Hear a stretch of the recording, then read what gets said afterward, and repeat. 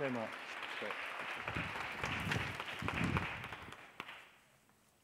Good evening.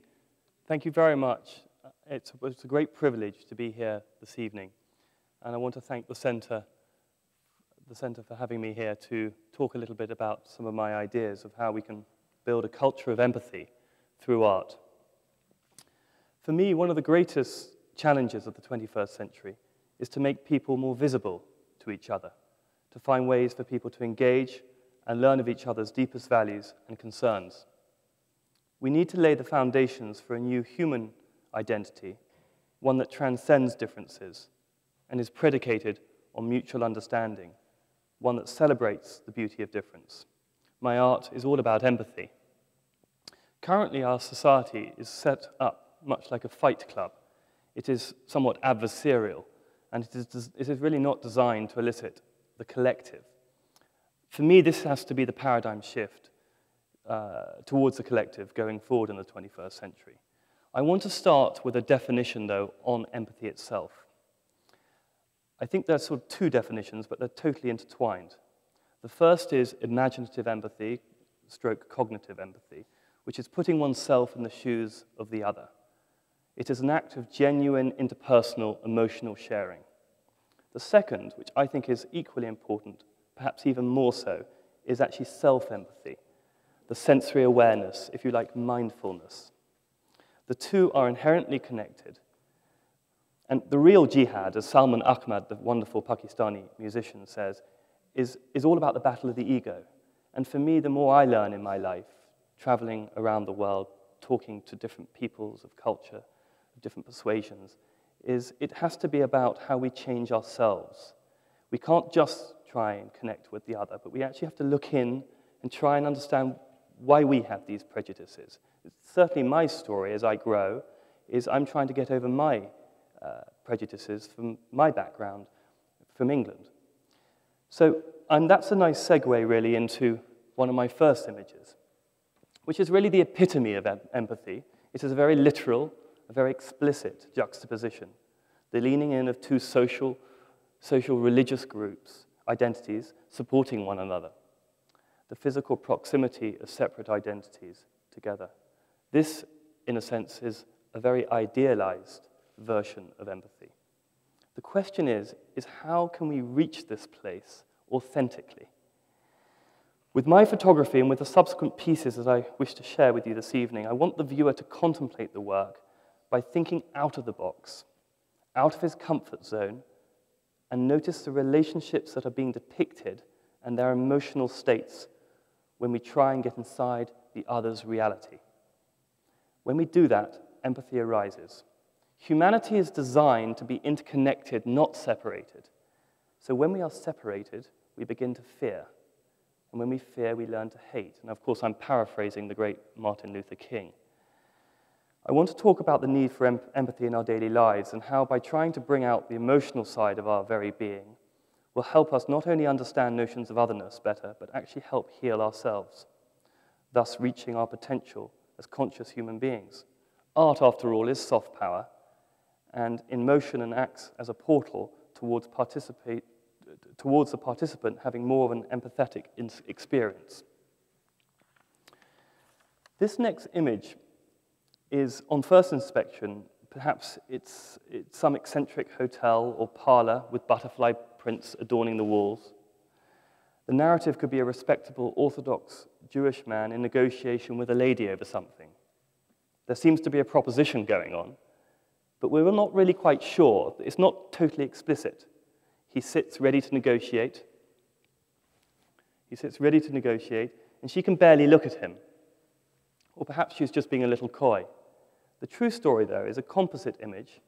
It's Yehudi, an ultra Orthodox Jew on the right, glancing actually at himself, but in his alto ego as Sylvia Sparklestein. This is what he transforms to in, this is what he becomes at night. The butterflies in the background, you can't really see them uh, in, in, on, on this presentation, sadly, but the butterflies represent that transformation. And many of the other pictures fill in, more of his fill in more of his Jewish narrative, capturing the tension between his conservative orthodoxy and his secular transgender identity. This is about empathy towards variations of sexuality, proclivity, and identity. We need to take an imaginative leap into another person's life. There are many shades of sexuality. If we judge so hard the other, I believe that raises just as many questions about the viewer doing the judging than the subject viewed. What makes us feel uncomfortable and why does it make, it make us feel uncomfortable? These are the questions we have to ask ourselves. By staying conscious, we take the pain and fear out of our judgments and are more accepting. We learn more about ourselves. In a sense, this image is also about ideas of what is masculine and feminine and how we define ourselves.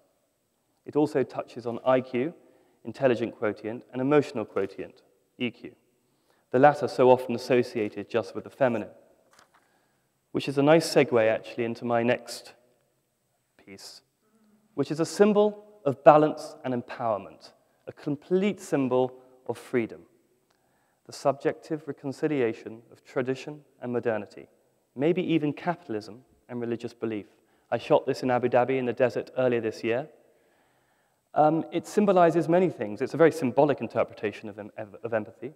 It's dealing with gender, women's position in the world, of course, and in particular the woman's position in the Middle East. This image is also slightly tongue in cheek. It provokes a reflection of desire, sexiness, the, the burqa and the leg, the Louis Vuitton shoes. Um, but it also, more importantly uh, and more seriously, talks about the sacred feminine to me. The great Indian mystic Aurobindo said, If there is ever to be a future, it will clearly wear the crown of feminine design. Unless we awaken to the mystery of the sacred feminine and allow it to penetrate every area of our activity, creating harmony, we will die out and take nature or a large part of it with us. Which leads me into my next piece, which I shot in Kuwait two years ago on the border of Kuwait and Saudi at the largest oil refinery in the world, I believe. And this is um, called The Roar of Nature. It actually sits in my friend Stephen Appel's um, bedroom or his sitting room. And um, it is about ecological empathy. And uh, it's more of a literary, literal type of empathy here, but it speaks to a need for a new paradigm shift within the context of green technology. Uh, we, are, we have already embraced that paradigm shift, but we have much more space to move within it. I feel the bull camel is, a, is roaring in anger at the change of his environment which is analogous to man wanting to find a better balance between the built and natural worlds. My next piece is called Transcendence under Cassiopeia, and this is um, a group of Sufis performing the Whirling Dervish. I shot this in Turkey two years ago. It's a composite photograph, so I photographed the Whirling Dervish at, um, I think, about a quarter of a second, the, the, exposure was, and then the stars, I, it was a 35 second exposure. And actually, what I love about it is you can see, I don't know whether you're interested in astronomy, but you can see Perseus and Cassiopeia there. And actually, Ursa Minor is just part of Ursa Minor is there, and Ursa Major is there. Um, Muslims regard Jesus, who was originally a Jew, as the greatest prophet, emphasizing the spiritual path towards the divine.